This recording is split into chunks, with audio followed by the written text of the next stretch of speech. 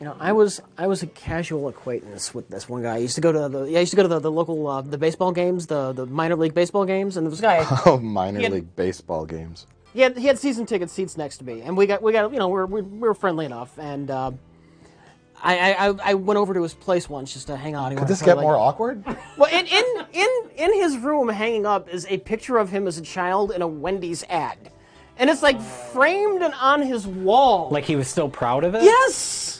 Okay. That's every it's like, kid in this video. You're you're an old man now. Take that take that picture of you in a Wendy's ad from 1991 off of the fucking wall.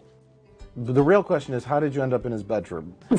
It was well, it was just, it was just, it was just to show me his place. It was like, come on, come on over, let's see this. That's how they get you. That's why you don't talk to strangers, Rich. You needed this video. Did he try to sell you Amway? or did he did he try to put his finger in your ass? What the fuck, Mike? Did he turn on Huey Lewis and the News and put on a poncho? He showed me his Warhammer figurines.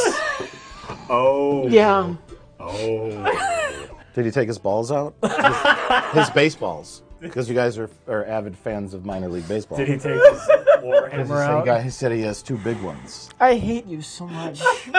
He wants to show. I hate you. He wants to show you his, his, his minor league bat and balls. Rich, you started to tell a story about a guy inviting you over to his house and you going into his bedroom. You had to have known this was going to happen. After you guys both shared a foot long at the baseball game. I mean, You didn't have to add Lady and the Tramp style. yeah, yeah, really. He said, put, put this weed on your mouth. oh my god. You want to share a wiener, is what he said. And Rich said, okay. It's back in my place. I want, I want, I want to show you my Wendy's ad. Oh, yeah, right.